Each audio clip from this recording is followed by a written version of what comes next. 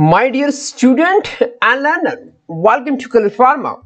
Today we are going to discuss about meaning of different strength of NaOH.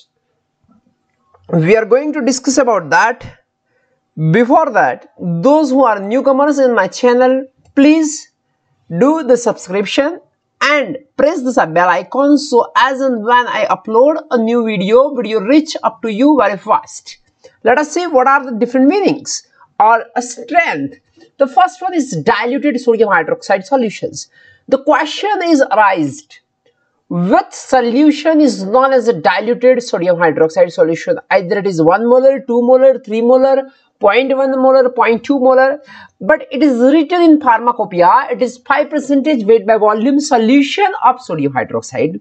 The next question is simply written that you take a sodium hydroxide solution. Sometimes we are sorry.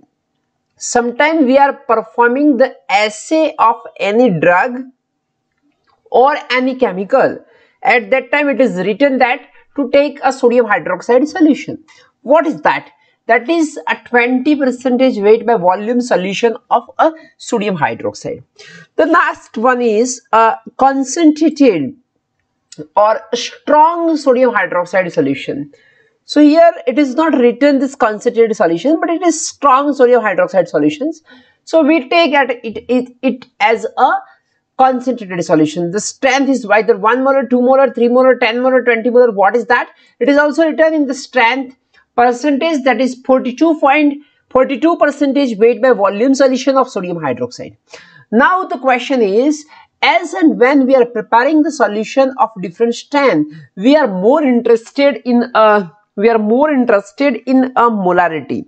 So let us convert a percentage weight by volume into the molarity. So i i will give you one direct equation that will help you to calculate it. So what is that equation? So molarity is equal to percentage weight by volume into 10 divided by molecular weight. So in the case of this one, this is a diluted. So 5 into 10 divided by 40. So Jack, what we are getting? We are getting that is round about 1.2 molar solutions of that is known as a diluted hydrochloric acids. Let us see here. We take another pen that will help us uh, capital M is equal to I will uh, keep the value directly 20 into 10 divided by molecular weight that is about 40 so it is going to be cancelled. So this is going to be cancelled. So what we are getting here we are getting a 5 molar solution. This is 5 similar way we discuss about uh, 42 molar so M is equal to 42 into 10 divided by molecular weight. So is equal to 42 into 10 divided by 40.